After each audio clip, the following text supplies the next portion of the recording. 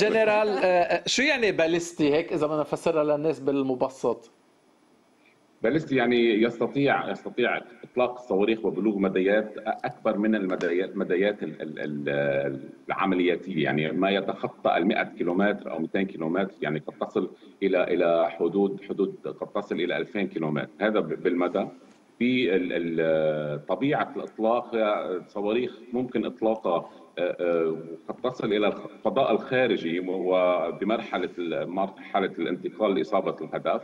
هي آه، صواريخ قد تعمل على سرعات فرد صوتيه يعني أعلى من الصوت. وأخيرا هي صواريخ تحمل قد تحمل مواد متفجرة متعددة مختلفة الطبيعة إن كان أسلحة دمار شامل أو ما شابه. نعم. طيب اليوم اللي صار آه، بالرد حزب الله الموجع لإسرائيل آه، هل ممكن يصير آه، تطور أكبر؟ هلا ما حدا بيعرف شو المخبيين بس بالعلم العسكري والاستراتيجي هل ممكن نوصل إلى تل أبيب؟ مثل ما عم نشوف كنا بالصور الهلع الناس من سفرات الإنذار؟ كل كل الخيارات قائمة إنما بالأساس عندما يتم وضع خطة عسكرية يتم تنفيذها وفقا لتطور مراحل هذه الخطة، يعني إذا العدو الإسرائيلي وضع خطة هو يقوم بتنفيذها.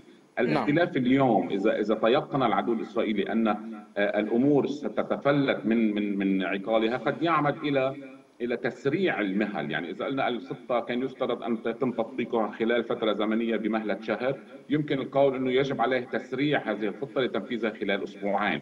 اثنين نعم. إذا قلنا نحن وتيرة العمليات القتالية أو استهداف بنك الأهداف سيأخذ حوالي عشر طلعات يوميا. ممكن القول اليوم نحن أمام تكثيف تكثيف للطلعات من 10 إلى 20 عم نحكي آه، أرقام لشرح المضمون. ثلاثة هناك سيكون رد انتقامي عدواني أكثر من إنه تغيير في في مجريات الخطة العسكرية، لذلك متوقع أن يكون هناك ضربات انتقامية من قبل العدو الإسرائيلي لإعادة التوازن في العدائية. يعني بنتيجة هذه الخسارة أو هذه الإصابات التي تلقاها سيظهر إنه هو قادر على إلحاق الضرر في ليس فقط في آه، عند المقاتلين إنما عند البيئة الحاضنة للمقاومة وعند المجتمع اللبناني ككل لتأليب الرأي العام اللبناني على ال هيدا اللي صار بايطو يعني مثل ما صار قبل بجبل لبنان وغيرها من المناطق. هيدا هدف آه، آه، هالغارات؟ طبعا,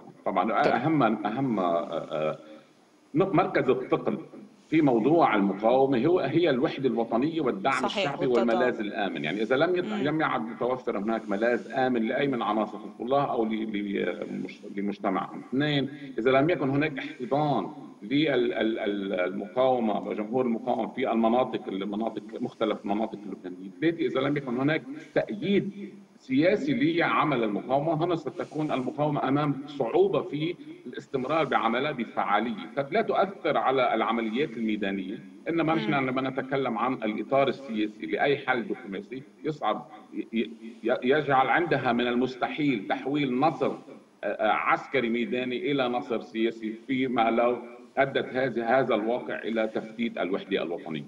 طيب ليش اليوم نعم. نوجه اليوم, اليوم نداء إلى كل اللبنانيين. المعركة تعني كل اللبنانيين. لن يكون صحيح. هناك أحد بمأمن عن هذه المعركة. حتى اليونيفيل نفسها لم تستطع حماية نفسها من العدائيه ما حدا رح يرحل تلحق إسرائيل أكيد. طيب عميد اليوم في دعوة من الخارجية الأمريكية لخروج المواطنين الأمريكيين من لبنان من إسرائيل ومن الأردن كمان طلبوا منهم عدم السفر إلى الأردن. هيدي الدعوة ليش اليوم؟ وهل نحن أمام حقبه أو مرحلة جديدة من التعديات الأكبر والعدوان الأكبر على لبنان تم تحديد ثلاث أيام إيه. كمان. إيه؟ لافته تحديد خلال ثلاث ثلاثة أيام. يعني نحن ناطرين شيء. عدة مستويات هناك عدة مستويات لهذا التحذير. يعني إنه نحن سمعنا إنه وزير الخارجية الأمريكي أعلن إنه لم يعد هناك من مجال في المدى المنظور لأي حل دبلوماسي. معناتها صار في تغريب للخيارات العسكرية وكأنه هو إطلاق يد لإسرائيل للذهاب إلى ما هو أبعد مما تقوم به. اثنين نحن علينا البناء على الاتصال الهاتفي الذي حصل ما بين آه، آه، نتنياهو والرئيس بايدن والذي تم فيه وضع تقييدات لما يمكن فعله أمريكا لم لم تثني إسرائيل عن عدم ضرب إيران إنما وضعت تقييدات أنه يمكن ضرب إيران، يمكن استهداف مقرات عسكرية بشكل لا تؤدي إلى ذهاب المنطقة إلى المواجهة الشاملة، تحييد المنشآت النووية تحييد المنشآت النفطية لأن هذه هذه المنشآت تؤثر على الاقتصاد العالمي أكثر ما أنه هي أمريكا تريد حماية إيران. تؤثر نعم. على الاقتصاد العالمي وستؤثر على الناخب الأمريكي فيما لو تزعزع استقرار استقرار سعر الدولار أو تزايدت ارتفاعات النفط الخام. هلا. أضف إلى ذلك أعلن وزير الدفاع الأمريكي إن أمريكا ستنشر بطاريات في الدفاع الصاروخي واسعة النطاق THAAD نعم. اللي هي Terminal High Altitude Area Defense System وهذه الصواريخ هذه المنظومة هي لمواجهة الصواريخ البالستية التي يمكن أن تطلقها إيران فيما أه. لو بادرت إسرائيل إلى ضرب إيران لذلك تعلم الولايات المتحدة أن فور نشر هذه البطاريات ستبادر إسرائيل إلى ضرب إيران. فور ضرب إيران ستبادر إيران إلى الرد على إسرائيل ونحن سنذهب إلى المواجهة الشاملة. لذلك تعلم الولايات المتحدة مسبقا أن الأمور متجهة إلى التصعيد وهي تحاول تأخير هذا الواقع. يعني اليوم لما بتقول أنه أمريكا أنه ستنشر هذه البطاريات هذه البطاريات بتوصيفها العسكري يقال عنها أنه سريعة النشر يمكن نشرها بسرعة فائقة لخدمه للعمليات. لذلك التأخير اليوم بنشر هذه الصواريخ هو مؤشر على محاولة الولايات المتحدة تأخير هذا الواقع علها تستطيع بهذه الفترة الزمنية من إجلاء رعاياها أو إعطاء إنذار لكل الساكنين بالمنطقة إلى إلى إخلاء هذه المنطقة. يعني رح تكون عابرة يعني مش أنه فتح جبهة, جبهة إقليمية كبيرة. المواجهة ستكون من المؤكد أن إسرائيل سترد.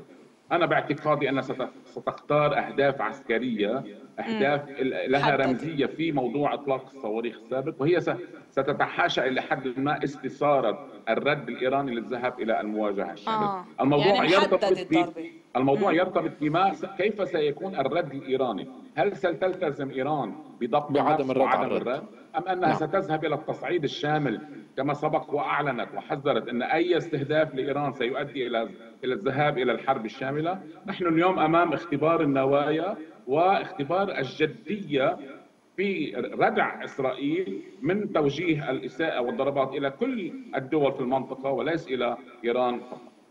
طيب البارح حدد نتنياهو بقصف بيروت هل يعني بيروت العاصمة أم الضاحية الجنوبية أم تشمل المنطقتين؟ من ضمن التقييدات اللي وضعتها الولايات المتحدة باعتقادي كان هناك إشارات واضحة أنه الولايات المتحدة لا تريد ضرب الجيش اللبناني وهي تريد تحييد الجيش اللبناني هي تريد تحييد اليونيفيل وتحييد البنى التحتية للدولة اللبنانية يعني آه. قول أنه عدم ضرب بيروت كعاصمة. هذا حصل ولم يتأخر الإسرائيلي في ضرب بيروت ضرب أهداف خارج خارج. صحيح بالنويري وبزقاق البلاط يعني كمان.